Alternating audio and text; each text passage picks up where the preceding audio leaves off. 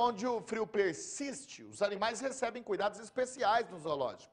Vamos ver na reportagem de Márcio Barros. Márcio Barros. Ele chegou e em poucos dias o inverno derrubou os termômetros. E nas ruas é normal ver pessoas encasacadas, touca na cabeça, luvas e tudo mais. Mas e quem não pode se agasalhar?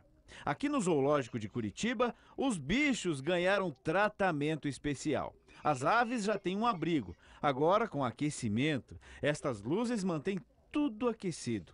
Segundo os especialistas, apesar dos animais estarem acostumados com o habitat, nem todos são da região tropical, com variação térmica, como aqui no sul do Brasil. Os macacos, além do abrigo, têm um cobertor, que é uma espécie de rede pendurada nas jaulas. No zoológico e no passeio público, a prefeitura cuida de aproximadamente 1.500 animais de 130 espécies. Todos os dias são preparados diversos tipos de alimentos, quase uma tonelada são cortados por aqui. E durante o período do inverno, tem uma alimentação diferenciada. A gente já vê aqui, ó, alguns produtos preparados exclusivamente para esse período. Desenvolver alimentação um pouco mais rica em energia, né?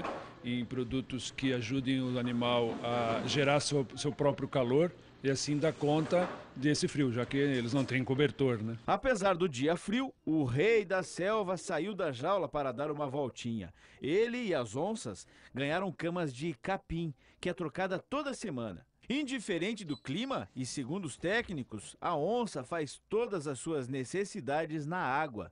E por falar em água, algumas espécies, apesar de terem asas, insistem em ficar no lago gelado. Nesta época do ano, muitas aves migratórias passam pelo zoológico de Curitiba, seguindo para lugares mais quentes. O urso de óculos também não se importou com a friagem. Ficou sentadão, só observando a fumacinha que saía da boca. Enquanto o inverno não passa e o calor não volta, o jeito é ficar só com os olhos para fora.